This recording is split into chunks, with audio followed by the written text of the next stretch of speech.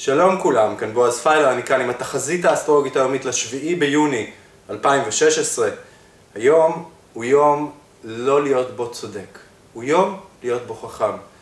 אני מתכוון לומר שיש לנו יום בשמיים מאוד עוצמתי, אני לא אלאה אתכם בכל המעברים, המעברים החשובים באמת זה מולות לפלוטו, שעושה אותנו מאוד דרמטיים, מאוד רגשיים, מאוד, אנרגיה מאוד אינטנסיבית שאנחנו יכולים לפגוש בה לאורך היום. עכשיו, אנחנו יכולים לקחת את הגל הזה כדי באמת לעלות דרגה בכל מה שקשור אלינו רגשית בחיים. אבל בשביל זה אנחנו צריכים קצת ריחוק. אותו ריחוק שאנחנו מדברים עליו מהרגשות שלנו בימים האחרונים. אז היום הוא לא יום להיות צודק, הוא יום להיות חכם. זה לא יום להיות מרדן, זה יום להיות סלחן וטוב לב.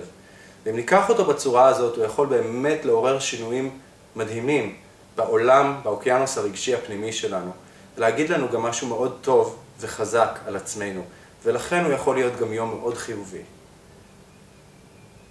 חוץ מזה, הדברים הרגילים, מרובם משתנה גדול בשמיים, עדיין נותן את כוחו, מאוד אינטנסיבית האנרגיה, אבל אם אנחנו לא מוותרים לעצמנו, אנחנו נקצור את הפירות לאחר מכן. אז תודה רבה שהקשבתם, שיהיה לנו יום מצוין ומאוד עוצמתי בצורה הכי חיובית שאפשר, כאן בועז פיילר, להתראות.